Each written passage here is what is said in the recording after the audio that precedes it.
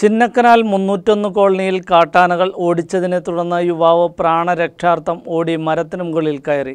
ഒന്നര മണിക്കൂറോളം യുവാവ് മരത്തിന് മുകളിൽ ഇരുന്ന ശേഷമാണ് കാട്ടാനകൾ പിന്തിരിഞ്ഞ് പോയത്. നാട്ടുകാരും വനംവകുപ്പ് വാച്ചർമാരും സ്ഥലത്തെത്തി കാട്ടാനകളെ തുരത്തുകയായിരുന്നു. കാട്ടാന ആക്രമണത്തിൽ നിന്നും രക്ഷപ്പെട്ടതിന്റെ ആശ്വാസത്തിലാണ് യുവാവ്.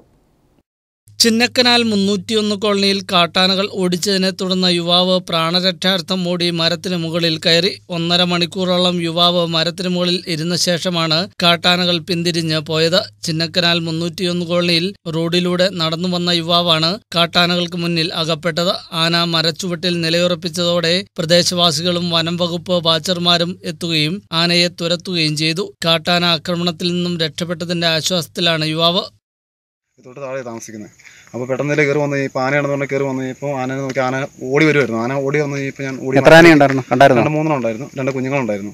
അപ്പോൾ ഈ ഇതാണ് ഓടി അടുത്തേക്ക് വന്നു ഇപ്പോൾ പെട്ടെന്ന് മരത്തേക്ക് കയറേണ്ട വന്നു. മരത്തേക്ക് കയറി നിൽക്കുമായിരുന്നു ഒന്നൊന്നര മണിക്കൂർ ഞാൻ മരത്തേക്ക് കയറി ഇരുന്നു എന്നാൽ പിന്നെ വാസർമാരും നമ്മുടെ നാട്ടുകാരെല്ലാം കൂടി വന്ന് പടക്കമൊക്കെ പൊട്ടിച്ച് ഓടിച്ചതിന് ശേഷമാണ് ഞാൻ മരത്തിൽ നിന്ന് ഇറങ്ങി വീട് അടുത്താണോ? ആ വീട് വീട് വീടെന്ന് പറയാൻ വേറെ വീടൊന്നുമില്ല. എനിക്ക് ഇവിടെ താഴെ ഞങ്ങൾ വെച്ചിട്ട് സ്ഥലമേ ഉള്ളൂ. അവിടെ ചെറിയ ഷട്ടൊക്കെ വെച്ച് താഴെ കിടക്കുന്നു. പ്രദേശത്ത് കഴിഞ്ഞ കുറച്ചു നാളുകളായി കാട്ടാനശല്യം രൂക്ഷമാണ്. വിഷയത്തിൽ ഫലപ്രദമായ ഇടപെടൽ എന്ന വിഷയത്തിൽ വനംവകുപ്പ് ഫലപ്രദമായ ഇടപെടൽ നടത്തണമെന്നാണ് പ്രദേശവാസികളുടെ ആവശ്യം. News bureau Munnar.